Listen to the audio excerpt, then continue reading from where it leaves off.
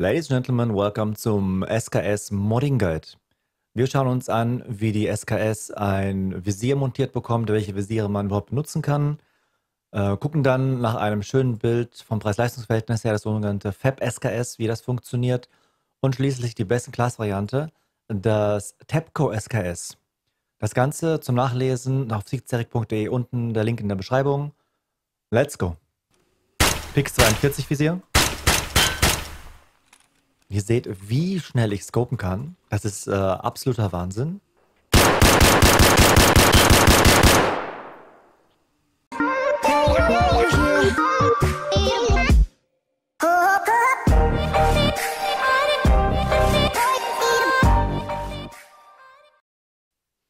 In der einfachsten Variante montieren wir ein Visier an die SKS. Wer sich jetzt schon immer gefragt hat, warum kann ich kein Visier an meine SKS packen? Die dunkelbraune SKS ist inkompatibel und die hellbraune SKS braucht das sogenannte Dovetail Mount. Das sieht so aus. Einige OP-SKS-Versionen in der hellbraunen Variante haben dieses Dovetail bereits montiert, andere nicht. Achte darauf, hier an dieser Seitenansicht, ob dieses Teil montiert ist oder nicht. Äh, in der Version hier ist es jetzt zum Beispiel nicht montiert. Es lässt sich nur auf die hellbraune Version montieren. Wir gehen hier an die Seite, packen das Teil dran und dann seht ihr hier das Dovetail Mount. Ab jetzt könnt ihr jedes Visier montieren. Am einfachsten montieren lassen sich jetzt die Visiere mit fester Halterung, wie zum Beispiel das OKP7, das Cobra Mount oder das PSO Sight. Diese einfach auf die Waffe ziehen und schon habt ihr entsprechend das OKP7, das Cobra Mount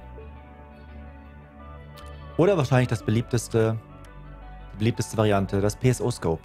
Damit seid ihr aber nicht eingeschränkt, montiert das sogenannte Pilot Mount auf diese Dovetail-Halterung könnt ihr praktisch jedes Scope verwenden. Beispielsweise das PK06.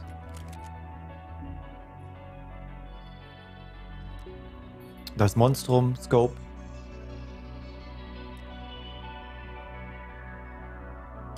Oder das Pix 42. Als nächsten Schritt könnte man jetzt noch das Magazin auf ein 20er Magazin erweitern, um einfach mehr Munition mit an Bord zu haben. Und gerade für Solospieler geeignet natürlich der Schalldämpfer. In dem Fall ist ein Hexagon SKS, wobei ich eher das CTK4 empfehle. So sieht das Ganze dann in der Praxis aus. Pix 42 Visier. Und das beliebte PSO Scope.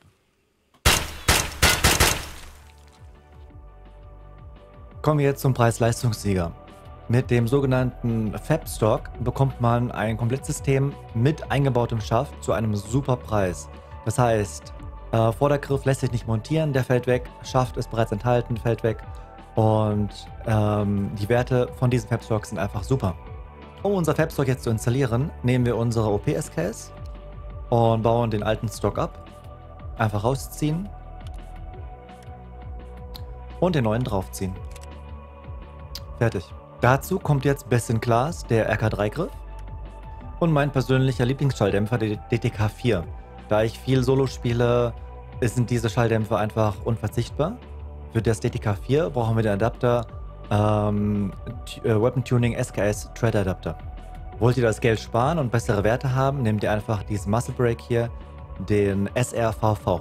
Also wir setzen jetzt den Adapter auf die SKS, bauen den Schalldämpfer hinterher und dann haben wir schon eine sehr schön aussehende SKS.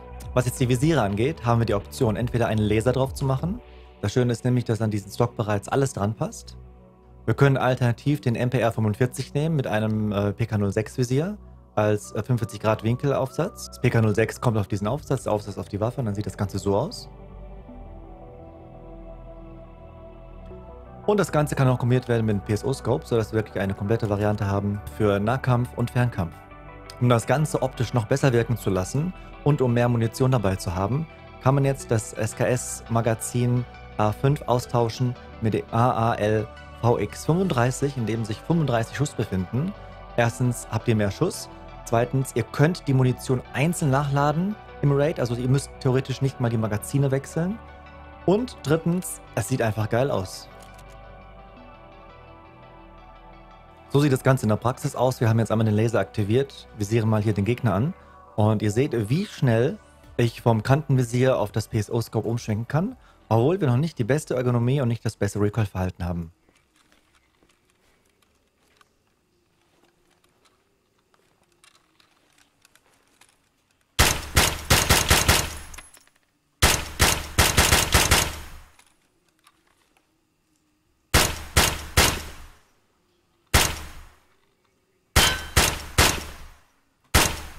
Nachladen funktioniert so.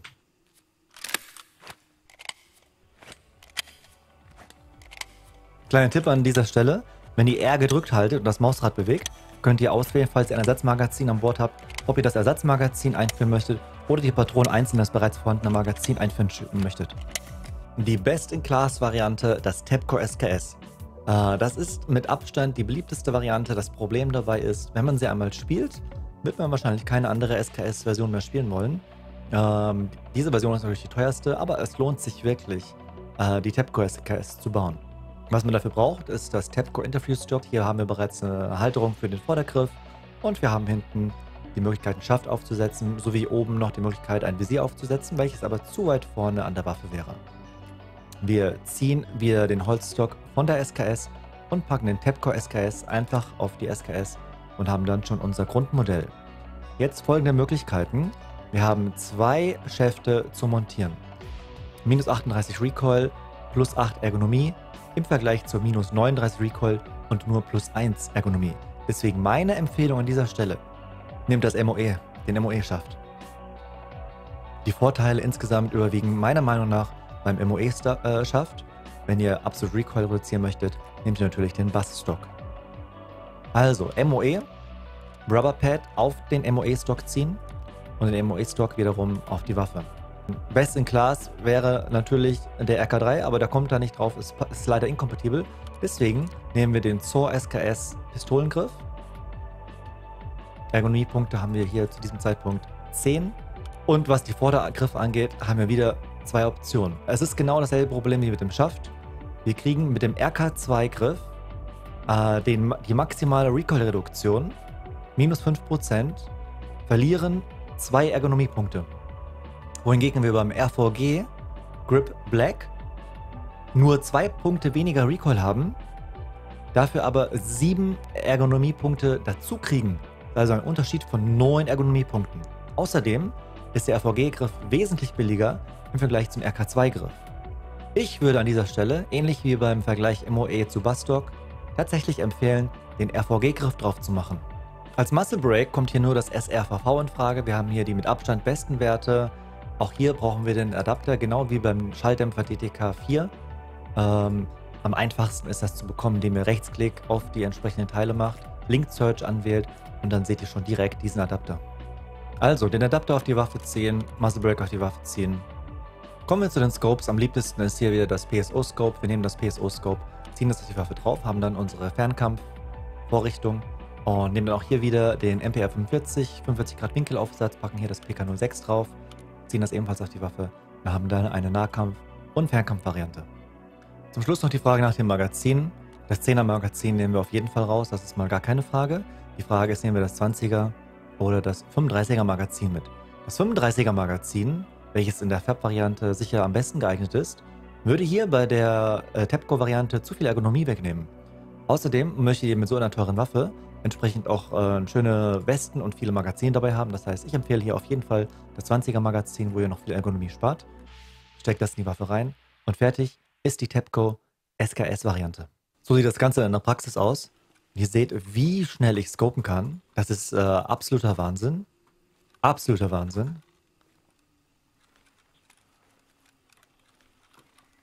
Und was Recoil-Werte angeht,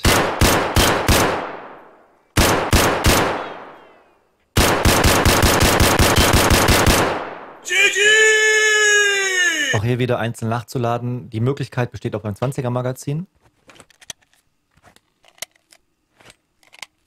Die TEPCO SG ist wirklich eine tolle Waffe. Denkt dran, dass ihr noch ein paar Optionen habt. Ihr könnt den RK2 Vordergriff dran machen, um noch weniger Recoil zu bekommen. Das ist euch überlassen.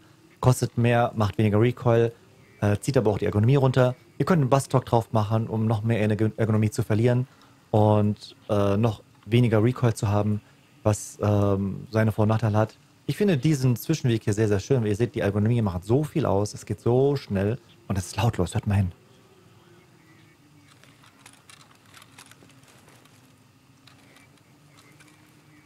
Hä? Außerdem habt ihr noch die Möglichkeit, verschiedene Aufsätze anzupassen. In dem Fall haben wir jetzt das SRVV Muscle Break drauf, was die besten Werte hat.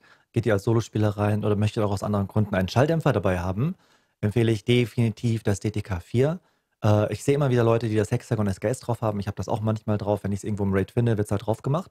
Der Punkt ist einfach, dass das Hexagon SKS schlechtere Werte hat. Ihr seht hier Recoil minus 3, Ergonomie minus 10, wohingegen das CTK 4 Recoil minus 4 und Ergonomie nur minus 3 hat, also in jedem Punkt bessere Werte hat, bei gleichem Preis.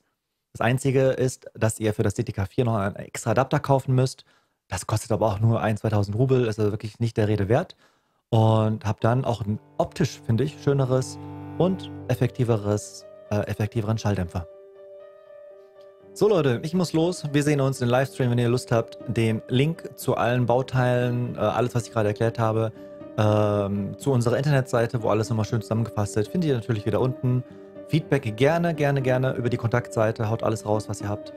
Und äh, gerne auch im Livestream auf Twitch.